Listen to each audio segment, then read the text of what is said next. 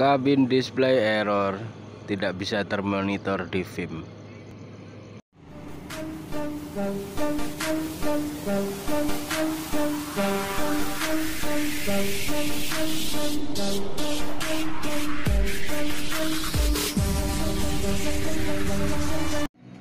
Halo selamat malam dulurku semua. Apa kabarnya? Kembali lagi ya.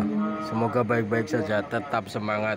Tambah rezekinya Jadi ini ada problem kabin display error lor ya. Dan kita membongkar semuanya ini lor ya. Di baliknya indikator-indikator semua ini Ini bisa kita lihat kabelnya ruwet ya. Ruwet dan membingungkan tapi tenang saja lor ya. Jadi kita dipandu oleh ini lor ya. Jadi bisa kita lihat ya. Jadi ada skematik ya namanya. Jadi itu jalur-jalur kabel yang di sini disesuaikan dengan warna dan nomor ya. Dan kita melakukan pengecekan ini lur ya. Jadi semoga cepat ketemu ini ya. Jadi kalau kabin display error ya kita cari sumber power utamanya lur ya. Dan di depan juga dibongkar oleh rekan tim auto elektrik ya. Jadi bisa kita lihat betapa mumetnya kita kita ini lur ya. Tetap semangat ya dan ini tadi ya kalau sebelumnya skematik ini ada di shop manual ya. Dia berbentuk kertas ya. Dan sekarang sudah jadi soft copy ya. Jadi bisa ditaruh di HP seperti ini lur ya. Ini saja lur ya. Kita masih melakukan pengecekan. Semoga cepat selesai lur ya. Karena mau direview dijelaskan agak gimana ini lur? Karena aduh banyak sekali ini. Jadi nanti kita bikin video bahasan satu-satu.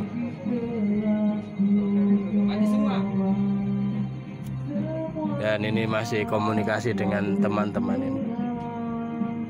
Cat data link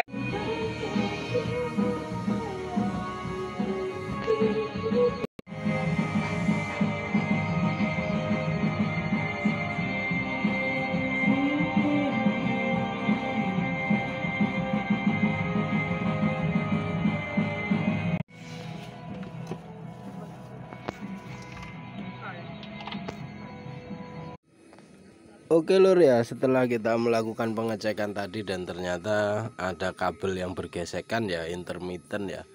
Jadi tadi filmnya ini blank ya. Dan sekarang sudah normal semua lur ya. Jadi ini menunjukkan parking brake on ya memang karena posisinya on ya. Dan untuk yang lainnya nah, semua normal ya. Nah, sudah kembali normal lagi lur ya. Jadi untuk supply powernya intermittent itu kadang nyambung kadang tidak ya. Jadi ini blank ya. Nah, sudah normal semua ya. Dan bisa kita pastikan lagi sudah bisa digunakan dengan oke okay, lur ya. Oke terima kasih dulurku semua ya. Tetap semangat. Semoga sedikit informasi ini bermanfaat. Tetap jaga kesehatan keselamatan kerja. Utamakan safety. Oke lur tetap semangat